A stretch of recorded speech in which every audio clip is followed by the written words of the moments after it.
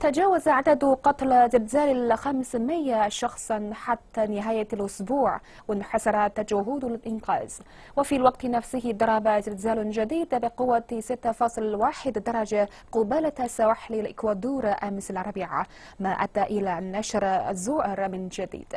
هذا ولم يتسبب زلزال الجديد في أي إضرار أو إصابات ولكن اهتزت الأرض بقوة في منتصف الليل ما دفع بالسكان السكان للحرع إلى الشوارع مسعورين في منتجع بادرنالس المدمر.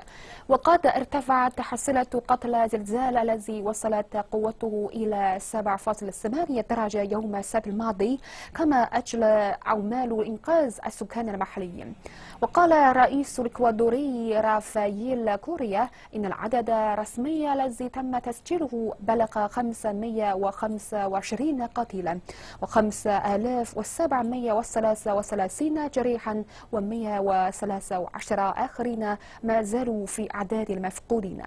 كما أعلن رئيس عن زيادة ضريبة مؤقتة وإصدار سندات جديدة محتملة لتمويل إعادة الإعمار التي ستكلفهم حتما مليارات دولارات.